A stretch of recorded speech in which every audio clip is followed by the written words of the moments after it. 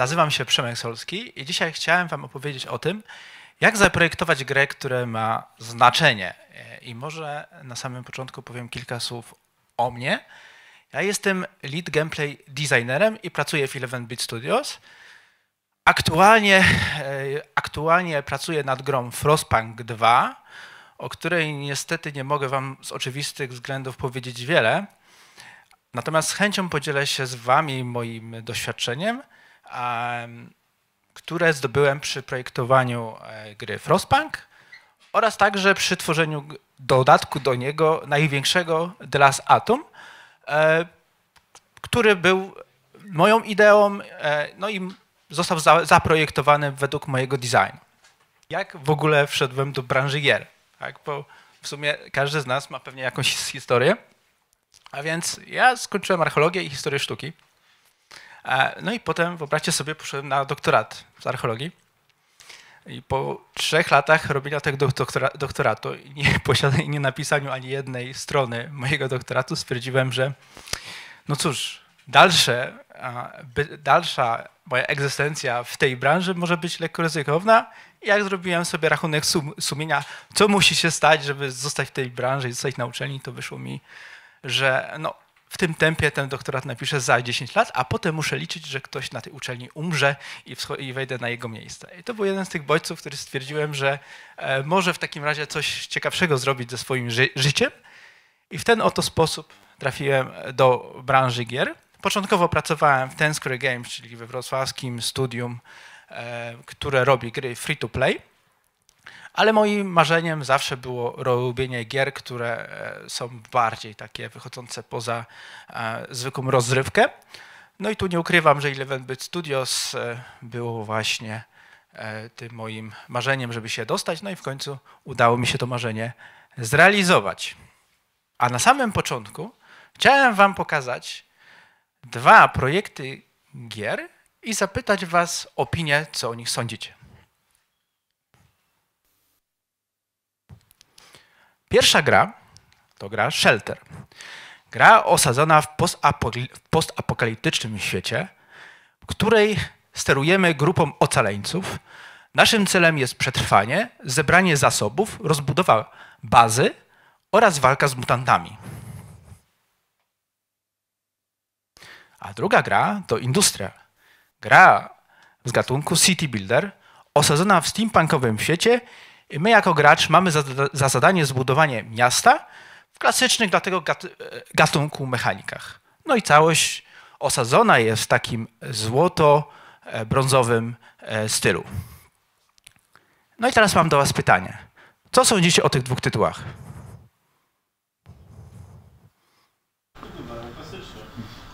Mhm.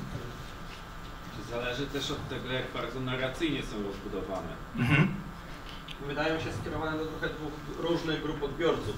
Mhm. Pierwszy bardziej na emocjach gra, drugi wydaje się, że zmierza bardziej dla tych, którzy po prostu zarządzać. Mhm. Mhm. Dobrze.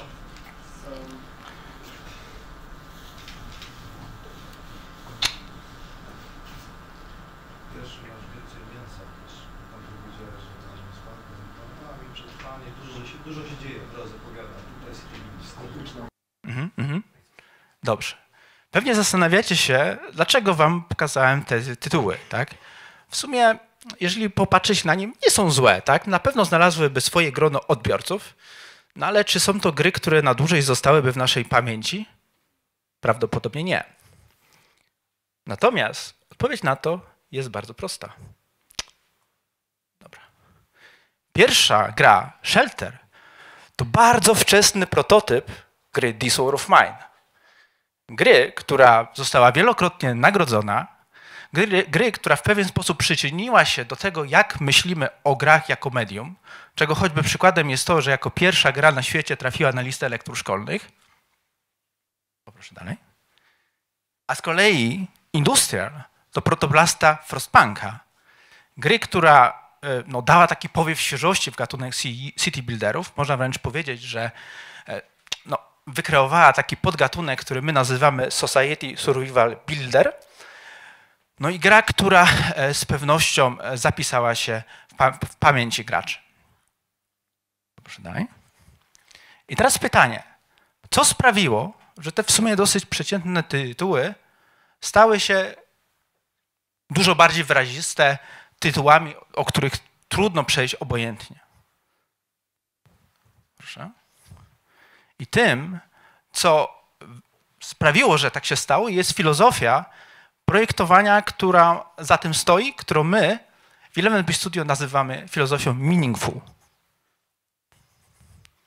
Czyli jeżeli dodamy shelter plus meaningful, wyjdzie nam disorder of mine, a używając też prostej matematyki, jeżeli do industriala dodamy meaningful, otrzymamy frostpunka. Oczywiście nie jest może to tak proste, jak rysowałem, niemniej jednak e, z naszą filozofią, którą, którą tutaj e, mamy w firmie, mniej więcej w takim procesie możemy do takiego efektu dojść.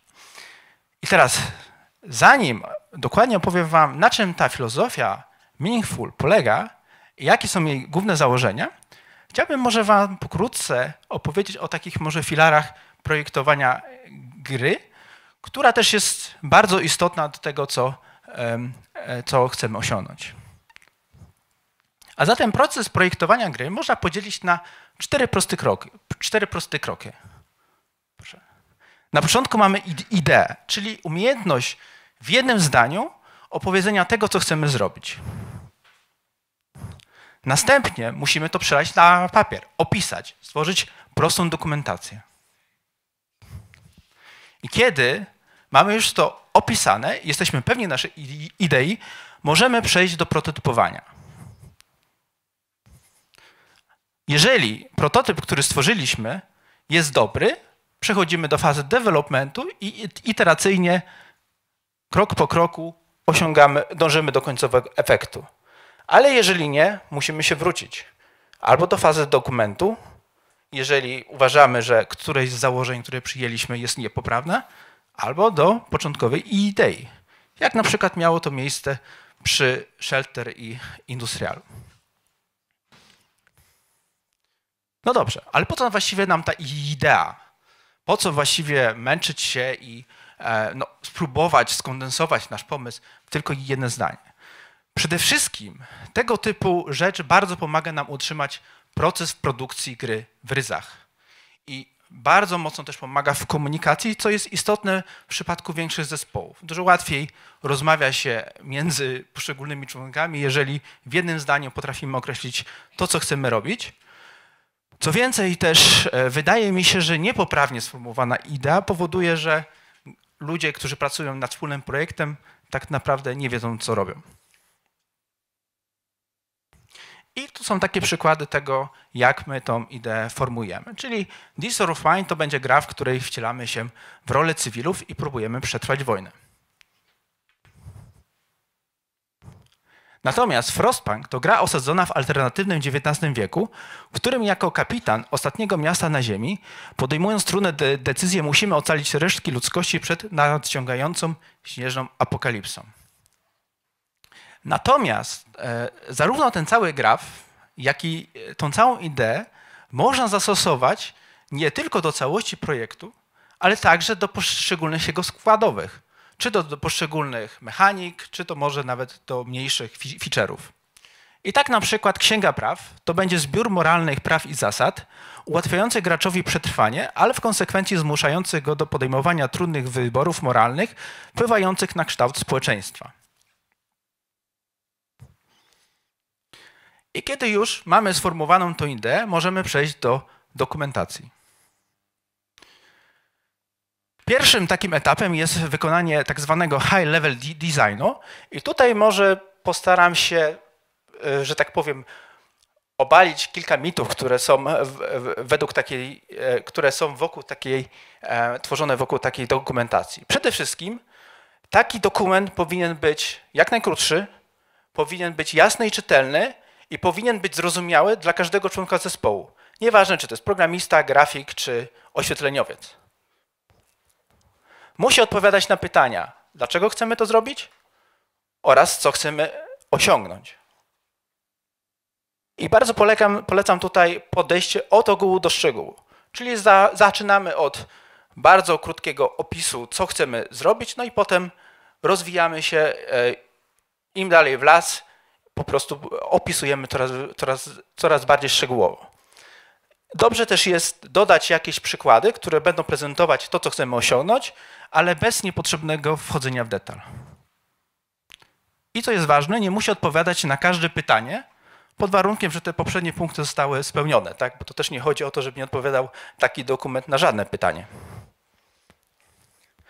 Kiedy e, jesteśmy już pewni naszego high-level designu, musimy się zastanowić, co chcemy sprototypować. I w tym pomaga nam coś takiego, co my nazywamy MVP, czyli Minimum Value Product, czyli chodzi o to, że z tego high-level designu wyciągamy taką esencję.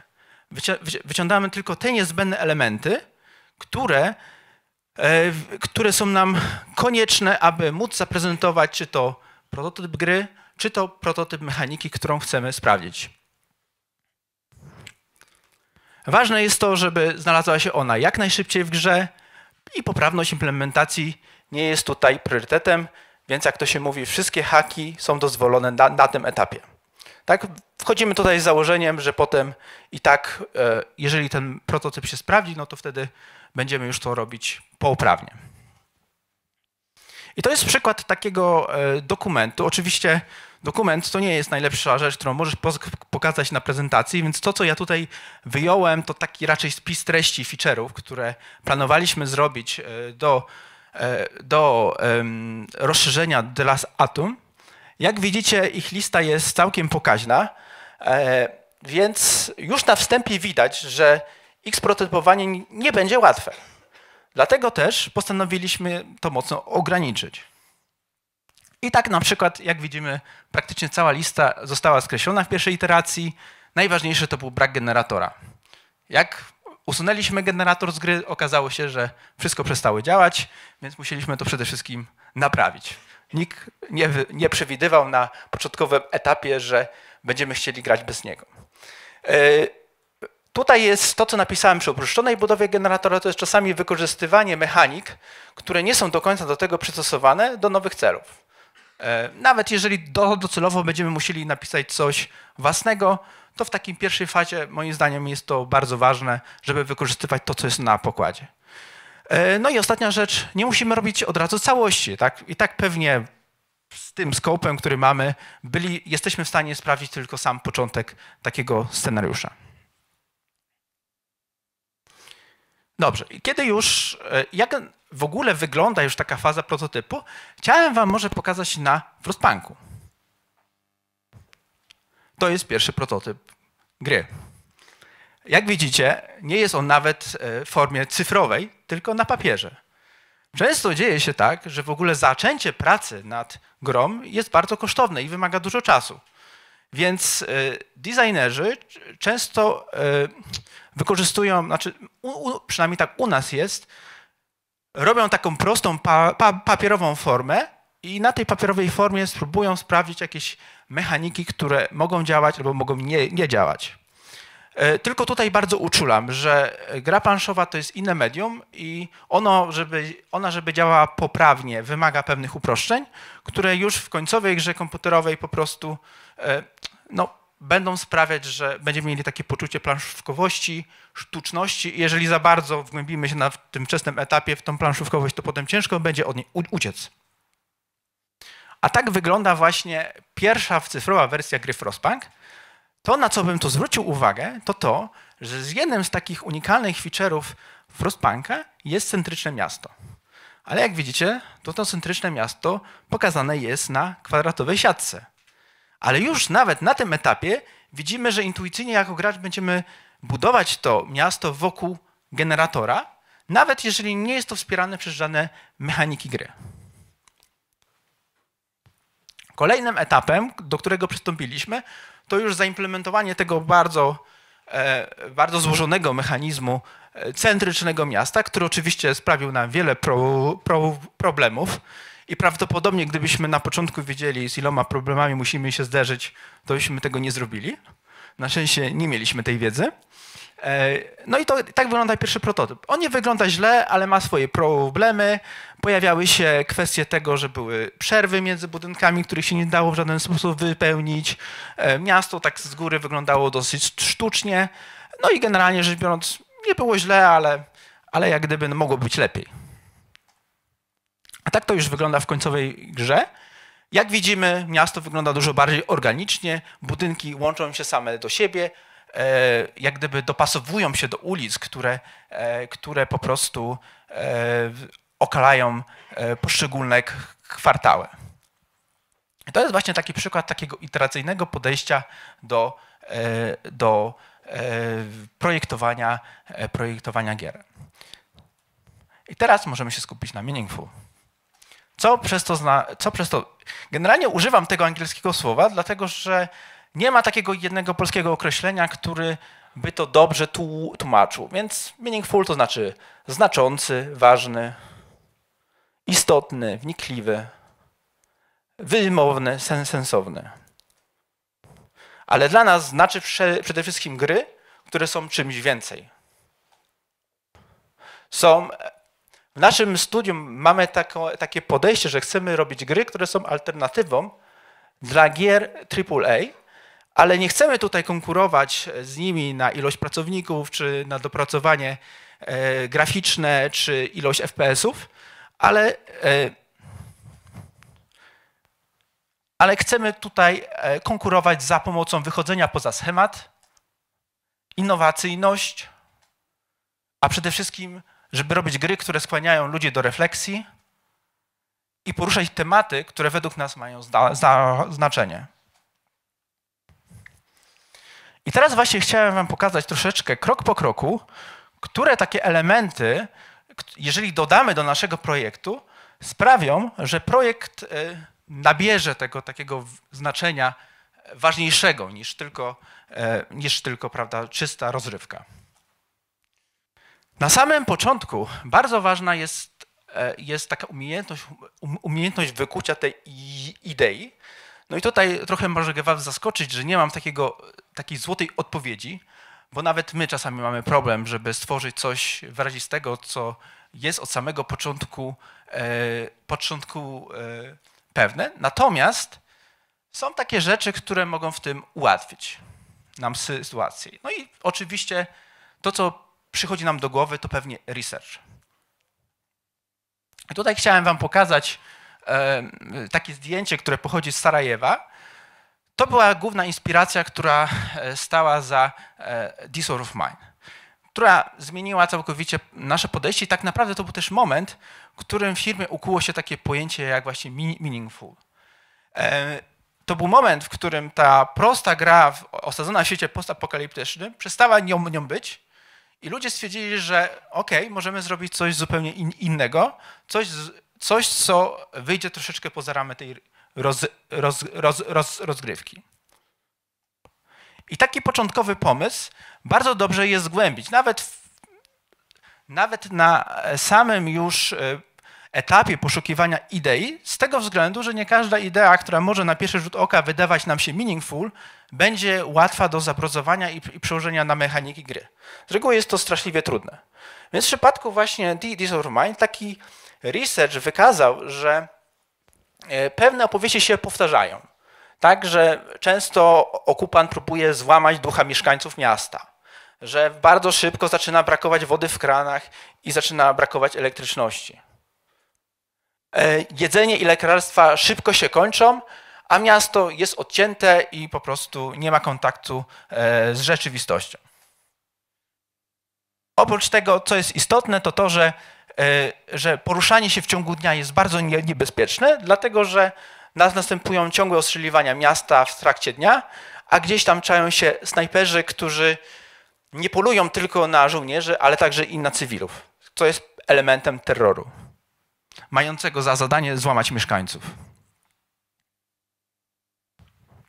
I wreszcie w czasie zimy pojawiają się takie pro, problemy jak brak opału. Wiadomo, miasto pozbawione e, ogrzewania, ludzie tam mieszkający muszą sobie radzić w alternatywny sposób. Z początku ścina się nieliczne drzewa, które są w mieście, a kiedy ich brakuje w akcie desperacji, także meble, a nawet i książki. Można jeszcze wrócić? O. I taka właśnie mapa, jak już sami widzicie na samym początku, jest olbrzymim inspiracją do tego, co można, jak w tą ideę można właśnie przełożyć na mechanikę gry. Na przykład ludzie śnają drzewa, palą meble i książki. No to już wiemy, że co będzie, będzie tym, co będziemy wrzucać do pieca. E, na przykład ciągłe ostrzeliwanie miasta w trakcie dnia spowodowało to, że czymś bardzo na, na, na, naturalnym jest podział, e, podział, e, podział właśnie gry na strefę dnia, kiedy budujemy i strefę nocną, kiedy możemy się udać na poszukiwanie zapasów. Research jest też bardzo istotny w poszukiwaniu oryginalności.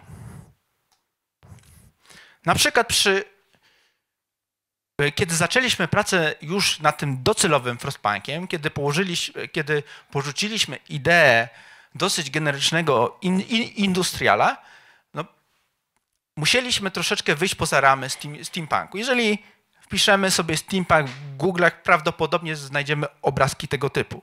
Natomiast czy uważaliśmy, że taka stylistyka nie do końca odpowiada temu, co chcieliśmy osiągnąć. Dlatego też, żeby uciec od tego schematu, wyszliśmy troszeczkę e, poza te źródła łatwo dostępne i poszukaliśmy bardzo takich starych źródeł. I tutaj jeden z naszych kolegów, grafików, Mateusz Bednarz, e, udał się do biblioteki i po prostu zeskanował prawdziwą e, książkę, która służyła do projektowania maszyn i ona stała się inspiracją dla naszych grafików, którzy stworzyli nasz frostpunkowy steampunk. Tak? Więc jak pewnie widzicie, nawet podejrzewam, że tutaj można znaleźć jakieś inspiracje, które potem stały się jakimś na przykład wall drillem. No i tak na przykład wyglądały pierwsze koncepty, które, e, które były inspirowane właśnie tymi referencjami. Oczywiście w grze już do, docelowo one wyglądają troszeczkę inaczej. Kiedy już mamy tą ukute, ukutą ideę, bardzo istotnym elementem jest to, żeby ustalić, jaki mamy mood gry, nastrój. Tak? Co, co przez to rozumiem? Rozumiem to nie tylko od strony graficznej, ale nastrój jest tak naprawdę łącznikiem między światami grafiki, designu, narracji i dźwięku. Należy to traktować jako jedność. Przykładowo, This Over Mine miało być grą jak książka. Przy czym nie chodzi to tylko o metaforyczne e, stwierdzenie, czyli wyjścia może poza ramy czystej rozgrywki, ale także i literalne. Jeżeli spojrzymy sobie na grę, widzimy, że perspektywa jest taka, że widzimy naszych e, ludzi z oddali. To troszeczkę przypomina to, jak patrzymy na książkę, tak? Tylko w tym przypadku jest ona interaktywna i się rusza. E, aby spotęgować ten styl, został wypracowany taki ołówkowy, ołówkowy styl, co tylko potęguje właśnie ten efekt. E, inspiracją e, dla tego stylu graficznego był taki teledysk Take On Me, w którym bardzo ciekawy sposób właśnie połączono świat rzeczywisty z rysunkowym. No i właśnie w tym teledysku był ten taki charakterystyczny, bardzo ruchomy obraz tych rysunkowych elementów. Ważny też był dla nas Banksy i jego siła przekazu, co na przykład jest bardzo widoczne w muralach, które pojawiają się w This War of Mine. I teraz tego typu wpływ na stroju gry miał bardzo duże implikacje, jak potem podchodziliśmy do designu. Z tego modu gry wyszło nam, że to jest opowieść o ludziach jak my. I co to oznacza? To oznacza, że nie mamy tam ani levelowania, ani RPGowych sta, statystyk ale mogą się zdarzyć bezużyteczne zdolności, jak dobry z matematyki. Podejrzewam, że gdyby wy, wybuchła wojna, również moja użyteczność, mogła, moja umiejętność mogłaby być trochę bezużyteczna w tej nowej rzeczywistości. Położyliśmy większy nacisk na osobiste przekonania i psychologiczne cechy. No i nasi bohaterowie przede wszystkim byli zdolni do przechodzenia traumy. No i oprócz tego mogli łatwo zginąć. Tak? To śmiertelność jest bardzo istotna e, w poczuciu e, tej gry. Istotną też kwestią, którą, e, której nie, którą trzeba zawrzeć w naszej, w naszej grze, to jest to, żeby wypracować pewną unikalność rozgrywki. I tutaj nie mam na myśli tego, że każdy teraz element gry w takiej grze Meaningful ma być unikatowy, bo każda unikatowa rzecz wymaga dodatkowej pracy przy, y, przy jej tłumaczeniu, ale chodzi o to, żeby przynajmniej część elementów była bardzo charakterystycznych, rozpoznawalnych i sprawiających, że jeżeli podchodzimy do, do tej gry, to czujemy, że jest to coś świeżego, nowego, czego jeszcze nie było wcześniej. I jak do tego podejść? Przede wszystkim to jest bardzo ważne. Rozgrywka musi wspierać ideę. Jeżeli tego nie będzie robić, no to wtedy nasza idea nie będzie wyczuwalna w tej grze. I nie zawsze to musi być coś górnolotnego. Na przykład, jeżeli popatrzymy sobie na Frostpunk, no to po środku mamy generator, e, koncentryczne miasto e, e, i okrągły krater, czyli powiedzmy takie ikoniczne elementy gry. Ale one w bardzo prosty sposób wspierają tą taką jedną z podstawowych elementów idei, jakim jest po prostu survival. Więc generator pomaga nam przetrwać zimę, jest naszym źródłem ciepła. Naturalnie wokół źródła ciepła będziemy się, się ustawiać koncentrycznie, tak jak ludzie, którzy, którzy, którzy próbują, e, którzy stoją koło ogniska. E, no i nad tym wszystkim czuwa taki koncentryczny kształt, którym jest ta nasza właśnie mityczna dziura, krater, e, który oprócz tego będzie chronił nasze miasto przed wiatrem i dawał nam takie może trochę złudne poczucie bezpieczeństwa.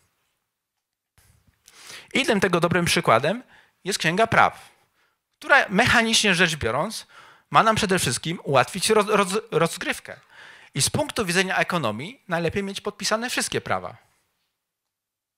Na przykład mamy problem z jedzeniem, no to co? Dosypujemy tutaj trocin albo rozwodniamy porcję e, i e, będzie, będzie tego jedzenia więcej. Mhm. Pewnie normalnie w życiu nikt z nas by tego nie zrobił, ale musimy mieć pod uwagę, że w ekstremalnej, zagrażającej sytuacji e, życiu pewne normy przestają mieć rację bytu, a rzeczy, które były do tej pory nieakceptowalne, stają się nową rzeczywistością. A moralność tym wszystkim jest elementem balansu, bo tak naprawdę my w grze w żaden sposób nie blokujemy tego, kto jak daleko może dojść, dojść w drzewku, czy tam orderu, czy fejfu, czy adaptation, to już zależy tylko od, od gracza i tego, w jaki sposób on do tego podejdzie. I każda moralność każdej osoby jest inna. Jedna osoba po prostu będzie ciekawa i dojdzie do samego końca, inna stwierdzi, że o, to jest już troszeczkę krok dla, dla daleko. Dla nas bardzo istotne jest to, że my nie oceniamy, natomiast pokazujemy konsekwencje tych wyborów.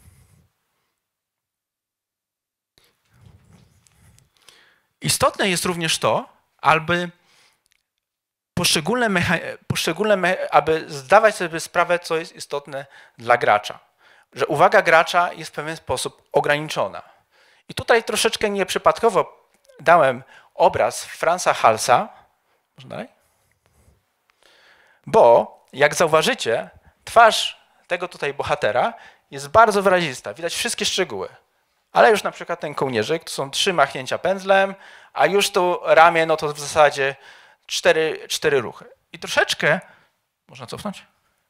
I, I troszeczkę w podobny sposób można też podejść do budowania mechanik, me, mechanik, gry, e, me, mechanik, e, me, mechanik gry. Nie wszystkie z nich muszą być tak samo, e, tak samo po prostu ważne. Trzeba wiedzieć, które z nich uwypuklić, a które z nich po prostu przygasić. Czy to przez balans, czy to właśnie przez, przez ich złożoność. No i tak na przykład było z Disorder of Mind i systemem walki. Docelowo w Disorder of Mind walka jest bardzo prosta. Tak naprawdę mamy możliwość strzelania do kogoś, ale jest to bardzo ograniczone ze względu na niewielką ilość nabojów. Możemy też ukryć się w cieniu i kogoś za, zaatakować zaskoczenia, ale jeżeli dochodzi do walki wręcz, to z reguły się to bardzo źle kończy dla naszego bohatera. Natomiast na samym początku etapu rozważano wprowadzenie jej dużo bardziej złożonej ale po analizach doszliśmy do wniosku, że mogłoby trochę to nie, nie, do końca działać tak, jak chcemy i odciągać uwagę gracza od tego, co w tej grze jest ważne. I spowodować na przykład, że gracze dużo chętniej chcieliby zabijać innych w tej grze, a nie o to nam chodziło. Dlatego wydaje mi się, że ostatecznie udało się osiągnąć ten, ten cel, że walka w tej grze to ostateczność i przez większość gry staramy się jej po prostu unikać. E, przykładowo też we Frostpunku e, mamy bardzo uproszczony City Builder. Mamy w porównaniu oczywiście do innych gier tego tytułu, podejrzewam, że osoby, które e, gra, grały tylko we Frostpunka mogą mieć trochę inne zdanie na, na, ten temat, ale na tle City Builderów ta mechanika jest bardzo prosta, mamy dosyć ograniczoną ilość zasobów, proste łańcuchy pro, produkcji, większość liczb, te co oczywiście możemy są pochowane, więc jak na jak na kategorię gatunku e, jest to dosyć oszczędne. No i po co to robimy? Po to dlatego, że percepcja gracza jest ograniczona. I ten sam kanał e, e, jest zajmowany zarówno przez narrację, jak i mechanikę gry. Jeżeli, jeżeli gra mechaniki jest bardzo skomplikowana, na przykład takie Factorio, no to jakbym w takim Factorio, które osobiście bardzo lubię, miałbym jeszcze podejmować trudne moralne de decyzje między zmienianiem jednej, jednego łańcucha na drugi, no to troszeczkę byłoby za dużo. Dlatego w naszej grze po prostu musieliśmy mechanikę maksymalnie uprościć, żeby zrobić jak najwięcej miejsca na narrację, która była dla nas bardzo ważna. Dobrze, zatem przejdźmy do narracji. Tutaj od razu zaznaczę, że to jest bardzo duży temat, więc ja go potraktuję troszeczkę po łebkach. Dla mnie istotne jest to, żeby umieć w, w takiej grze zbudować filmowe doświadczenie. Przy czym nie mam tu tylko na, na myśli sekwencji e, podkreślających najważniejsze wy, wydarzenia, ale bardziej głębsze myślenie. Przykładowo to jest e, taki graf, który zrobiliśmy dla scenariusza e, Follow Winterhome. Follow Winterhome staraliśmy się wykorzystać taką klasyczną filmową strukturę, podział na trzy aktach, podział na trzy akty. Oczywiście to nie jest jeden do jeden e, e, wzięcie pewnej metodologii filmowej, dlatego że ona nie do końca się sprawdza e, w grze, w której gra może się potoczyć różnymi wątkami. Niemniej jednak nam to bardzo mocno ułatwiło to, w jaki sposób myślimy, myślimy o takim scenariuszu. To, co na co bym zwrócił uwagę, to to, że jeszcze tutaj mamy rozrysowany wzrost napięcia w trakcie gry, i nie jest on stały, ale jest zmienne, tak? Czyli na początku ono rośnie, potem trochę spada, potem znowu rośnie i tak dalej, i tak dalej, aż do końca.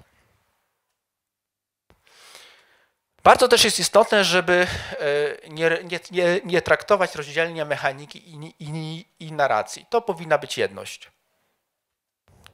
Jeżeli gracz, gracz najprawdopodobniej zignoruje narrację, która jest sprzeczna z rozgrywką. Jeżeli gra mówi mi narracyjnie, że jest bardzo źle i że wszyscy umierają i że będzie jeszcze gorzej, a ja mam po prostu lepiej niż w domu po prostu i pełną, pełną piwnicę wszystkich za, zapasów, to nie poczuję po prostu tych emocji.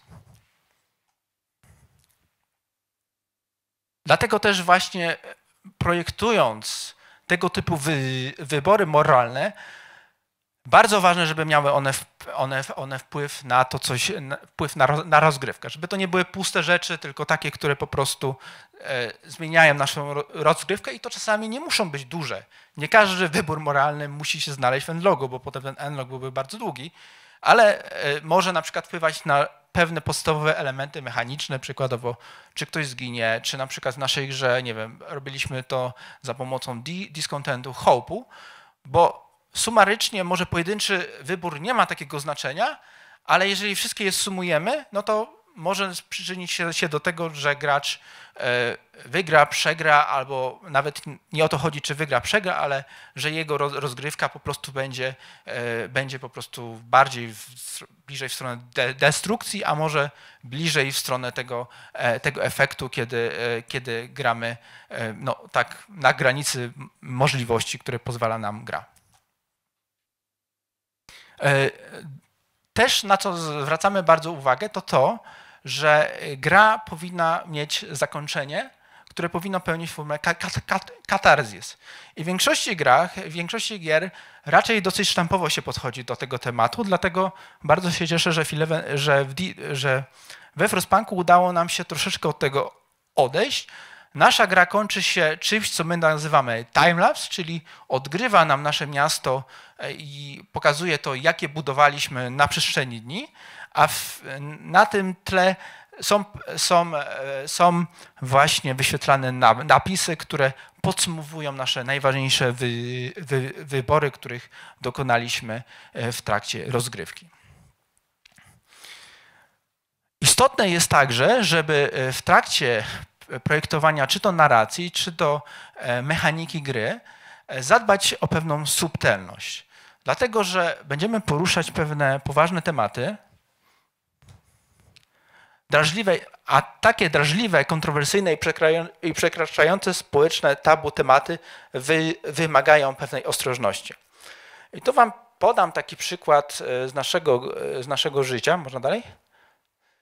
To jest coś, co, e, żeby to wytłumaczyć, to muszę chwilę opowiedzieć o tym, jak wygląda ta mechanika gry. A więc pośrodku, e, pośrodku miasta mamy generator, który ma taki, taki dodatkowy tryb, który nazywa się overdrive. On nam tak naprawdę, jak go włączymy, daje nam możliwość tego, że ten generator grzeje cieplej, dzięki temu naszym mieszkańcom lepiej się żyje, ale kosztem jest to, że narasta jego stres. Kiedy osiągnie on 100%, generator wybucha, a nasza gra się skończy. I w początkowej fazie yy, czasami potrafiło nas to zaskoczyć, że pograliśmy sobie i nagle buch, generator wy, wybuchł. I nie było to dosyć przyjemne uczucie, dlatego że nie dawało nam to żadnego moralnego wyboru, tylko po prostu było to efektem naszej nieuwagi, która pewnie jest trochę irracjonalna, no bo jeżeli pośrodku miasta widzimy, że jest coś gotującego się, to pewnie jako mieszkańcy byśmy w odpowiedni sposób zareagowali dużo wcześniej. E, no i w trakcie, e, w trakcie developmentu doszliśmy do wniosku, że musimy to jakoś załatać. No i takim rozwiązaniem było to, żeby wprowadzić, e, wprowadzić właśnie takie końcowe, końcowy dylemat, w którym albo możemy użyć jednego Steamcora i troszeczkę obniżyć ten stres, albo wysłać dziecko, które, które po prostu prześliznie się przez te szczeliny i, i jak gdyby spowoduje, że E, że, że ten generator powiedzmy e, no, troszeczkę ochłonie. Tak? Ale konsekwencją było to, że to dziecko po prostu mogło zginąć. No i na papierze wygląda to dobrze. Natomiast jak taką wersję daliśmy do gry prasie, a czasami jest tak, że w, czasie, w trakcie developmentu musimy robić takie buildy, które potem następnie e, trafiają do prasy, no to skończyło się tak, że e, widzieliśmy streamera, który po prostu kosztem 10 czy 15 ilości dzieci po prostu lekko przedłużał w sobie, przedłużał w sobie egzystencję miasta, co na pewno nie było tym, co chcieliśmy opowiedzieć, tak? Słucham? Tak, oczywiście i na papierze to wyglądało świetnie, tak? Natomiast na pewno nie było to to, co chcieliśmy powiedzieć w tej grze. E, więc koniec końców rozwiązaliśmy to bardzo prosto. Ta mechanika działała pod warunkiem, że pojawiała się tylko raz. I w grze też mamy taką, taką sekwencję i pojawiamy się raz. A tak poza tym to pewnie wszyscy wiemy, skąd jest ta inspiracja. To jest pierwszy film Snowpiercera, więc e, przyznaję się bez bicia. Poruszając też, e, poruszając właśnie też e, tego typu poważne tematy, najpewniej prędzej czy później trafimy na jakiś temat tabu. I takim naszym tematem tabu, który musiał się pojawić w grze o zimnie, e, jest kanibalizm. Tak? I to też jest temat, który mógłby być bardzo łatwo e, strywializowany. I na samym początku kanibalizm był jedną z opcji, która była dostępna e, w, e, w, naszym, w naszym Book of Law, w naszej, w naszej księdze praw. No i wiecie co, mogliśmy sobie podpisać zupę, a potem, pff, a co tam, kanibalizm, tak? Więc podejrzewam, że gdyby taki element trafił do, docelowo, do, docelowo do, do gry w niezmienionej postaci, to domyślam się, że byliby niektórzy gracze, którzy by robili dokładne playthrough i krok po kroku to zrobić, żeby zrobić samowystarczalne miasto, które nie potrzebuje żadnego innego źródła jedzenia niż ludzie. E, więc na pewno to nie było to, co chcieliśmy powiedzieć. E, jeszcze dalej, bo powiedziałem trochę krok za daleko. Natomiast skończyliśmy tak, że e, to prawo w jakiś sposób musiało istnieć, ale żeby się ono pojawiło, to musimy się nastarać. Tak, sy, sy, sy, sytuacja w mieście musi być tragiczna, musi umrzeć wiele osób z głodu, no i wtedy pojawia się ark narracyjny, który jeśli dokonamy odpowiednich kroków, odblokuje nam to prawo, ale tylko wtedy. No i dzięki temu zaadresowaliśmy bardzo kontrowersyjny problem, no ale maksymalnie też nie spatrzyliśmy tego tematu jako alternatywnej mechaniki, która związuje wszystkie problemy świata. I dobrze, i w ten sposób dotarliśmy do naszego podsumowania. Czyli mamy ten początkowy graf, który wam pokazałem i po wypełnieniu będzie on wyglądał tak. Czyli od idei przechodzimy do naszego moodu, do, naszej, do naszego klimatu gry. Kiedy jest on, jest on ukształtowany, na jego bazie myślimy, w jaki sposób, e, w jaki sposób właśnie wydobyć ten unikalny gameplay. Tutaj e, ważne jest to, żeby e, umieć umiejętnie sterować uwagą gracza, bo czasami co z tego, że wymyślimy unikalny feature, jeżeli on zginie w gąszczu mniej istotnych rzeczy, Następnie e, wraz z połączeniem tej, e, tego gameplayu do, dodajemy filmową na, narrację. No i tutaj warto uważać właśnie na te subtelne podejście do trudnych tematów, bo śmieszność jest chyba największym przeciwnikiem, jaki mogłaby nas na tym etapie spotkać. No i jeżeli mamy te wszystkie elementy i one wszystkie ze sobą działają i sta, sta, stanowią taką e, piękną orkiestrę, no to wtedy najprawdopodobniej nasza gra prawdopodobnie złapie się na ten e, efekt meaningful. Natomiast musimy sobie zdawać, zdawać, e, zdawać sprawę, że podejmując taki temat, będziemy wkraczać na niezbadane wody. Dlatego, że no, jak na przykład projektowałem scenariusze do Frostpunka i patrzyłem na referencje, to większość tych referencji wyglądała tak. Zbuduj 5000 domów albo zbierz 10 tysięcy węgla. Tak wyglądały questy mniej więcej w większości city builderów. Natomiast absolutnie to nie przestawało do tego, co, e, to, to, co chcieliśmy osiągnąć i tak naprawdę my sami musieliśmy stworzyć pewien język e, opowiadania historii, przekładania narracji na mechanikę, czy, czy też zamieniania tych zimnych liczb w, w emocje. I musimy sobie zdawać sprawę, że to jest trudna droga. Często ten proces jest bardzo frustrujący. Ale jeżeli się uda, to pojawia się bardzo duża sa sa satysfakcja. Ale czy warto, to już pozostawiam odpowiedź Wam. Dziękuję za uwagę.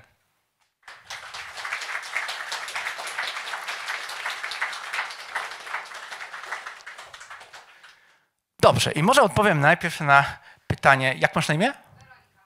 na pytanie Weroniki. Więc na samym początku, zanim wynaleźliśmy tą metodę meaningful, to robiliśmy tak, że e, tworzyliśmy po prostu mechaniki gry. I dopiero potem dokładaliśmy ten e, element meaningful. Natomiast w tej chwili mamy podejście odwrotne. Od samego początku staramy się kreować tą taką ideę, e, ideę właśnie krwistą, taką, która po prostu poprowadzi nasz, nasz, naszą grę do końca i od samego początku do końca będziemy wiedzieli, na czym pracuje. I powiem wam szczerze, że nie wiem, czy to jest e, też dobry pomysł. Jak kończymy Frostpunka 2, to wtedy wam na to będę w stanie bardziej odpowiedzieć, czy faktycznie to, był, to była po prostu dobra idea.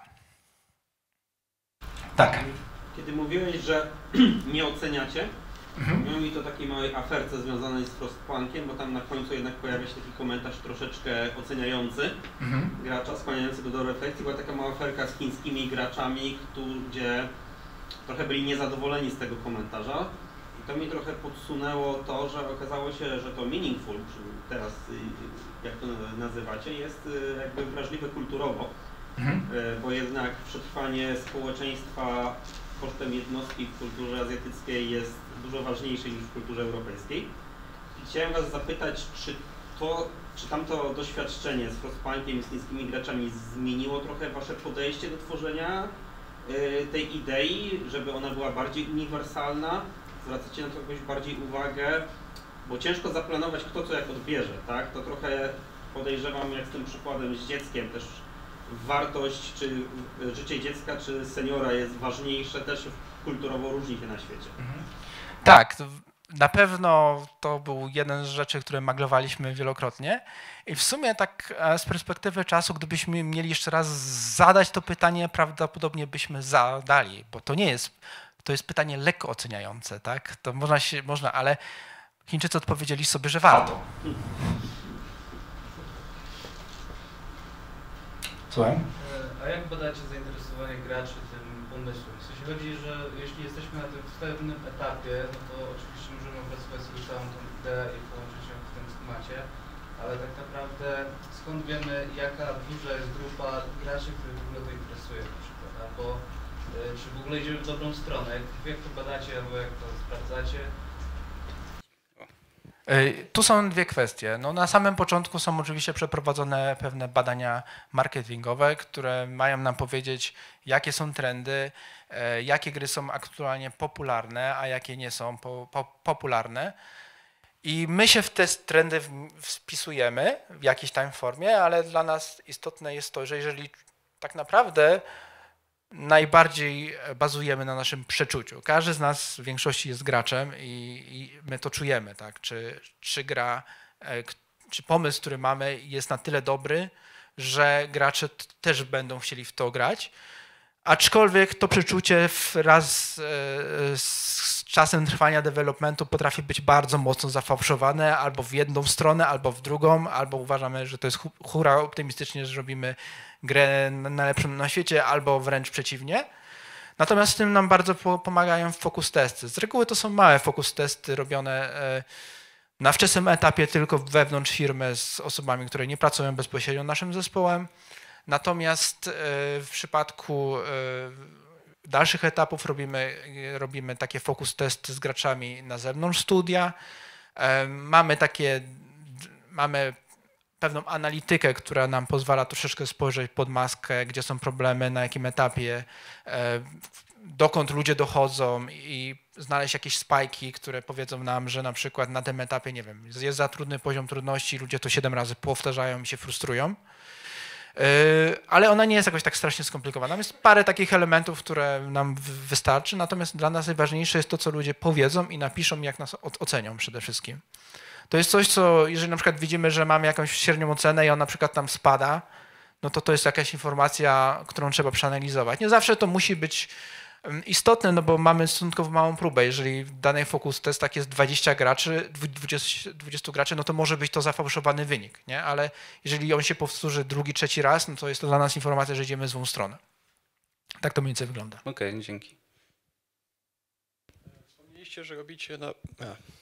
Wspomnieliście, że na początku robicie prototypy planszowe, gry, prawda? Mhm. E, ale jak jesteście w stanie oszacować, e, na którym, e, w którym momencie już warto jest przełożyć to na prototyp bardziej cyfrowy i bądź już na faktyczną implementację? Z reguły na takim etapie, kiedy programiści mają czas to zrobić, tak naprawdę, bo to, że robimy prototypy, właśnie głównie z tego wynika. I ogólnie rzecz biorąc, ja je polecam na bardzo wczesnym etapie, tak? kiedy totalnie nie mamy nic i musimy po prostu najniższym kosztem po prostu ocenić e, to, jak ta gra ma, ma, ma działać. Natomiast im dalej w las, tym raczej bym polecał już bazowanie po prostu na e, tym, co mamy w grze. Mhm, dziękuję. Ja bym miał pytanko właśnie odnośnie tej e, tego meaningful, tej, tej, tej, tego znaczenia w grze. I dajmy na to, że gra już przechodzi, już trafia do developmentu i trafia na przykład do QA, do testerów. I testerzy na przykład dają wam zbiorczy feedback. E, słuchajcie, to nie do końca jednak gra w faktycznej rozgrywce, e, ten, ten meaningful z rozgrywką i na przykład dają wam zbiorczy feedback. I co w takim momencie? Czy wy jesteście już na etapie developmentu w stanie się cofnąć zrobić jeszcze jakieś z tym zmiany, czy to już jest wtedy tak zabetonowane, że to już musi pójść tak, jak jest?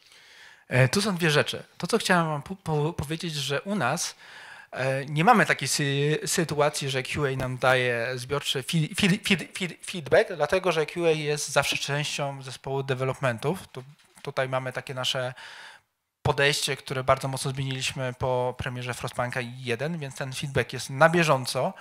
I dzięki temu trochę unikamy właśnie takiej sytuacji, że nie wiem, po trzech miesiącach w końcu dostajemy feedback, który nam powie, że wszystko jest złe. Natomiast też my, my nie boimy się też robić odważnych ruchów i niestety takie ruchy trzeba często robić, albo może czasem robić, może często to jest złe, złe słowo, bo jeżeli się robi często, to znaczy, że projekt idzie w złą stronę, ale jeżeli się robi czasem, no to e, tak jest. Niestety zawsze na pewnym etapie developmentu jest moment, w którym zabija się swoje dzieci. Jest to bardzo trudny moment, serce wtedy krwawi, ale niestety tak trzeba. Niektóre rzeczy trzeba przedefiniować, bo zwłaszcza robiąc tak bardzo złożoną grę, jaką jest e, City Builder, e, to nie wiemy pewnych rzeczy na samym początku. I dopiero w czas trwania projektu e, tych informacji jest coraz więcej, coraz więcej i tak naprawdę gdzieś w połowie pewnie jesteśmy w stanie powiedzieć, że no dobra, może te pierwsze założenia nie do końca się sprawdzają, ale jak zrobimy to tak i tak, to, to po prostu to się może udać.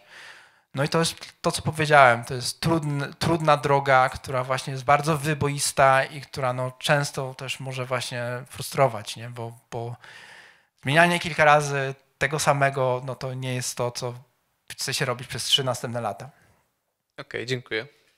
E, cześć, dziękuję za wykład. E, mam takie szybkie pytanie, ponieważ e, do designera, a nie do narratywa. Mhm. To znaczy, podaj przykład jakiejś, no bo wszędzie gdzieś pod e, tym, co opowiadasz, są gdzieś liczby, nie? Tak. Więc e, na przykład, nie wiem, weźmy jakąś mechanikę z Frostpunka albo z This War of Mine, to znaczy, nie wiem, bohater w This War of Mine ma, nie wiem, 100 na jedzenia, współczynnik czy, i zjedzenie tam prostego, czy napicie się prostej wody mu zdejmuje ten współczynnik o, mhm. nie, nie wiem, dodaje mu dwa. Jak to wygląda od, od takiej strony właśnie czysto czysto mechanicznej, a nie narracyjnej, że jest głodny albo najedzony, nie? No bo gdzieś tam są liczby.